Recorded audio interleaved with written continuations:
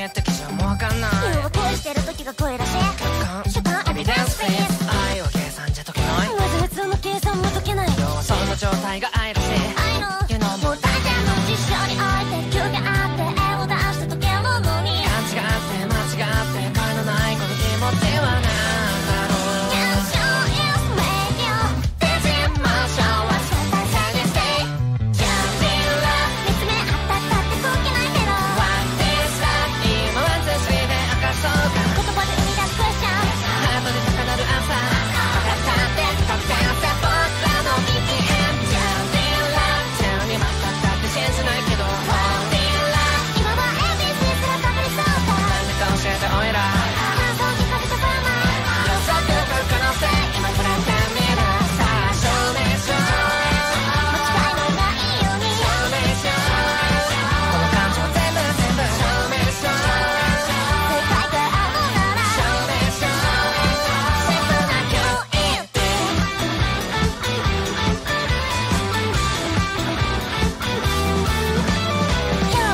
証明したい。目に見えない。